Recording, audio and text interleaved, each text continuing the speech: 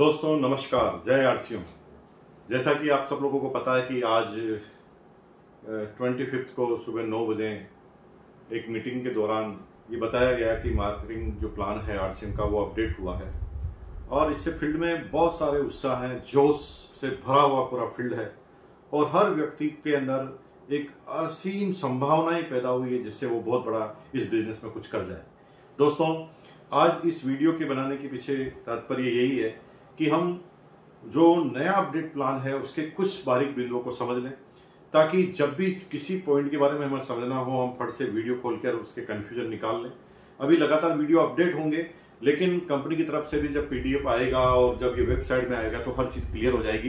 लेकिन मोटा मोटी क्योंकि फ़ील्ड में बात करेंगे तो बहुत चीज़ें हमें समझना बहुत ज़्यादा ज़रूरी है, ताकि हम गलत चीज़ को फ़ील्ड में प्रमोट न कर दें। इस प्रोजेक्ट को हम मोटा मोटी कुछ भागों में समझेंगे। अलग अलग वीडियो बनेंगे।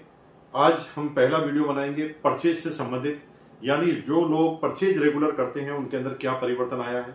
दूसरे भाग में रॉयल्टी वाले वाइटल वाले और टेक्निकल वालों में क्या क्या परिवर्तन आया अलग अलग वीडियो लेंगे। यानी टोटल चार वीडियो में हम ये टोटल क्लियर कर देंगे कि इस पूरे मार्केटिंग प्लान की अपडेट क्या है। दोस्तों, सबसे पहले चलते हैं उन लोगों के ऊपर जो आरसीएम बिज़नेस के रेगुलर बाय हैं। इस पूरे प्लान के अंदर पहली बात यह समझाई गई है कि अगर कोई आदमी आरसीएम में रेगुलर परचेज करना चालू करता है तो अब उसके दिन, अच्छे दिन आ गए हैं। क्योंकि अब उसे रेगुलर परचेज करने से इतने सारे बेनिफिट दिए जाएँगे जिसे वो समझ भी नहीं सकता।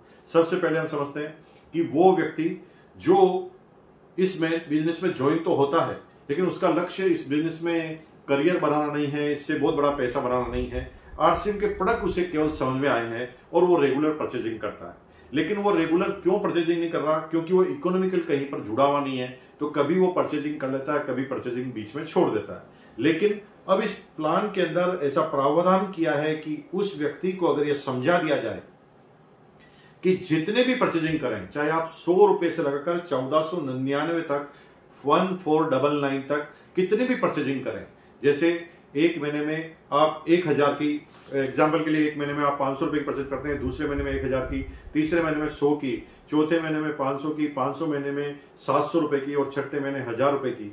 यानी टोटल तीन हज़ार आठ सौ की परचेजिंग करते हैं। तो तीन हज़ार आठ सौ की परचेजिंग करने के बाद टोटल आपकी परचेजिंग तीन हज़ार आठ सौ का बारह परसेंट पीवी का डीपी प्रोडक्ट आपको मिल जाएगा। जी हाँ अगर इसको फिगर्स में बात करें तो सीधी सीधी है फोर फाइव सिक्स चार सौ छप्पन रुपए डीपी का प्रोडक्ट आपको आप पाँच, छह महीने छह महीने बाद फ्री में मिल जाएगा। यानी उस व्यक्ति के लिए सोने पे सुहागा होने वाला है जो आदमी केवल परचेजिंग करता है, जिसका बिज़नेस में कोई बहुत बड़ा ध्यान नहीं है, जिससे बिज़नेस में कमीशन से ज़्यादा उन प्रोडक्टों से प्यार हो गया है। उनके लिए एक असीम संभावनाएँ हैं। उनको सिर्फ़ ये समझा दिया कि रेगुलर अगर परचेज गए तो आपको इतना बड़ा फ़ायदा होने वाला है। इसमें दो चीज़ें को ध्यान रखना है। पहला कहीं पर भी परचेज ड्रॉप नहीं होनी चाहिए। जी हाँ अगर छह महीने कितनी भी परचेजिंग करें, वो चलेगा, लेकिन छह महीने रेगुलर परचेजिंग होनी चाहिए। अगर बीच में किसी भी महीने आपने परचेजिंग छोड़ी तो आपकी क्लब की शुरुआत, आपके इस कंसिस्टेंसी की शुरुआत वापस शुरू से होगी और कंसिस्टेंसी में लिए वापस उसको उसी महीने से शुरुआत करनी पड़ेगी, यानी बीच में ब्रेक नहीं देना।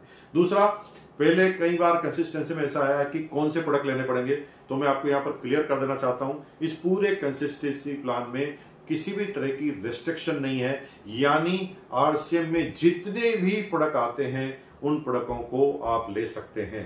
दूसरा कंसिस्टेंसी प्लान में अब हम आगे की तरफ़ जाते हैं, जो लोग मिनिमम अगर परचेजिंग की बात करें तो 1500 पीवी से ज़्यादा करते हैं, और दूसरे वो लोग जो ढाई हज़ार पीवी से ज़्यादा करते हैं।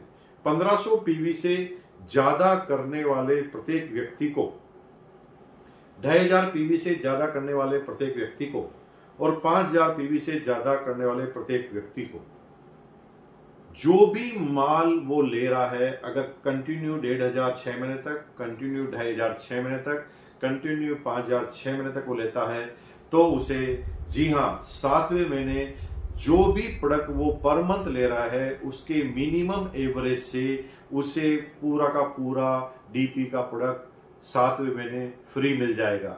एग्ज़ाम्पल के लिए डेढ़ हज़ार का छह महीने तक लेता है तो सातवें महीने डेढ़ हज़ार का डीपी प्रोडक्ट। अगर छह महीने तक लगातार ढाई हज़ार पीवी का प्रोडक्ट लेता है तो सातवें महीने ढाई हज़ार पीवी का प्रोडक्ट। अगर पाँच हज़ार पीवी का प्रोडक्ट लगातार छह महीने तक लेता है तो डीपी का प्रोडक्ट मिल जाता है। इसमें कोई रेस्ट्रिक्शन नहीं है। लेकिन यह ध्यान रखना कि मिनिमम काउंट होगा। जैसे एग्ज़ाम्पल कोई आदमी डेढ़ डेढ़ हज़ार का प्रोडक्ट ले रहा है, तीसरे महीने पाँच हज़ार का ले लेता है और फिर आगे डेढ़ हज़ार का कर लेता है।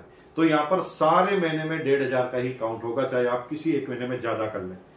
लेकिन अगर कम कर लिया तो कम वाले से काउंट होगा। यानी एग्ज़ाम्पल आप हर महीने डेढ़ डेढ़ डेढ़ हज़ार ले रहे हैं, लेकिन किसी महीने में आपने सौ का काउंट लिया। तो आप पहले वाले में चले जाएँगे कंसिस्टेंसी प्लान जिसका जो है वो सौ रुपए से चौदह सौ निन्यानवे वाले में, उसमें जो भी परचेजिंग की है, उसका बारह परसेंट आपको मिल जाएगा। इसे बहुत बारीकी से ध्यान देने की ज़रूरत है। अब बात आई है कि इससे ज़्यादा लोग जो परचेज कर रहे हैं, उनके साथ क्या होगा? जो लोग इससे ज़्यादा परचेजिंग कर रहे हैं उनके लिए केस का बेनिफिट रखा गया है। शुरू में सारे बेनिफिट जो रखे गए हैं प्रोडक्ट फ्री के रखे गए हैं, और उसके बाद क्योंकि उसका लेवल बढ़ जाता है, वो रेगुलर टर्नओवर करने लग जाता है, वो मार्केट में प्रोडक्ट सेल करने लग जाता है तो उसे पैसों की ज़रूरत होती है, क्योंकि वो फ़ील्ड में जाता है तो यहाँ पर उससे ज़्यादा करने वाले सब लोगों को केस के बेनिफिट मिले हैं। यानी एग्ज़ाम्पल दस हज़ार से ज़्यादा हर महीने आप रिटेलिंग करते हैं छह महीने तक। तो छह महीने बाद टोटल साठ हज़ार की रिटेलिंग अगर आपकी हो जाती है तो आपको तीन हज़ार एक्स्ट्रा केस बोनस मिलता है। अगर पच्चीस हज़ार छह महीने तक, यानी टोटल छह महीने में डेढ़ लाख की हो जाती है तो यहाँ पर साढ़े बारह हज़ार आपको केस बोनस मिलता है। और तीसरा, यदि आप पचास हज़ार रुपए पर मंथ यानी टोटल तीन लाख की परचेजिंग छह महीने में कर देते हैं तो यहाँ पर तीस हज़ार केस बोनस मिलता है।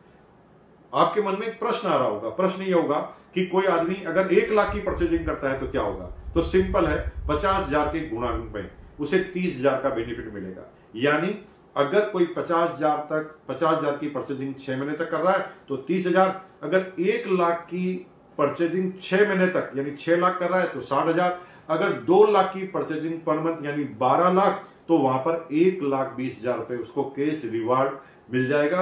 यानी इसकी कोई लिमिटेशन नहीं है। अगर आप ज़्यादा सेल कर रहे हैं तो आपको ज़्यादा कमीशन मिलेगा। लेकिन सबसे ज़्यादा आकर्षण वाली बात जो मुझे लगती है, वो ये है, एक परचेज क्लब बनाया गया टीसी छावड़ा जी के द्वारा। और परचेज क्लब का फ़ायदा यह है कि परचेज क्लब में एक बार अगर आप शामिल हो गया, जैसे एक आदमी, कोई आदमी डेढ़ हज़ार की परचेजिंग हर महीने कर रहा है और छह महीने बाद उसका टारगेट खत्म हो गया, या पाँच हज़ार की परचेजिंग हर महीने कर रहा है और छह महीने बाद उसका टारगेट पूरा हो गया तो हो सकता है वो आगे कंटिन्यू ना करे। लेकिन तब तक वो पैंतीस हज़ार का, पाँच हज़ार के पर मंथ के हिसाब से सात महीने तक वो पैंतीस हज़ार का माल ले चुका होगा और थर्टी फाइव लेते ही उसे परचेज क्लब के बेनिफिट नज़र आने लगेंगे, क्योंकि परचेज क्लब पचास हज़ार पर चालू होने वाला है। पचास हज़ार पर एक बार, लाइफ में एक बार पचास हज़ार तक पहुँचना है और पचास हज़ार तक पहुँच गए। उसके बाद आप जो भी परचेजिंग करेंगे, उसके ऊपर आपको टेन परसेंट परचेजिंग पर आपको अलग से केस बोनस मिलेगा। जी हाँ केस बोनस उसके ऊपर मिलने वाला है, लेकिन उसका मैक्सिमम केप जो है वो पाँच सौ रुपए का है और परचेजिंग का एक महीने में परचेजिंग का मैक्सिमम के भी पाँच हज़ार रुपए का है। यानी अगर आप एक महीने में दस हज़ार की परचेजिंग करते हैं तो भी क्लब में पाँच हज़ार ही काउंट होगी। एग्ज़ाम्पल दस दस हज़ार की अगर आप दस महीने तक करते हैं तो परचेजिंग तो एक लाख की हुई है।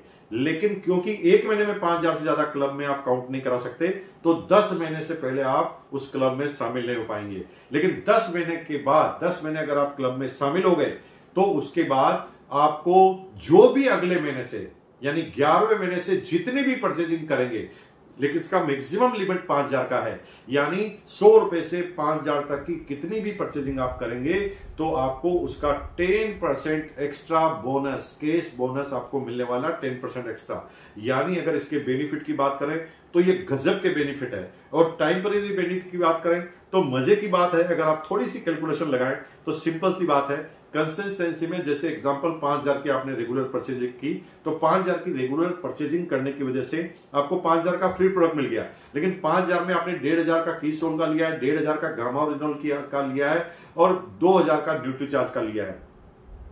तो मज़े की बात यह है कि जितने प्रोडक्ट आपको आरसीएम ने दिए हैं, उतने ही प्रोडक्ट आप प्रोडक्ट पार्टनर से मिल गए। यानी यहाँ पर डबल धमाका हो जाता है। अगर इस परचेजिंग की गणित को आपने समझ लिया और अपनी टीम में केवल परचेजर को कंटिन्यूस परचेज करने के लिए बाहर कर दिया, यानी जब आप शुरुआत में प्लान बताएँ, तब आपको प्लान का सीधा सा फंडा यह बताना है कि, सर, यहाँ पर परचेजिंग करने से इनकम आती है और आपकी टीम में अगर रेगुलर परचेज करने वाले आदमी हो गए तो आपका करियर बन सकता है इस बिज़नेस में। अब परचेजिंग करने वाले परचेजिंग क्यों करेंगे? क्योंकि उनके पास इतना बेनिफिट है। और अगर आपकी टी, टीम के सारे लोग रेगुलर परचेज करने लग गए तो आप कब वाइटल रॉयल्टी और टेक्निकल पर जाएँगे?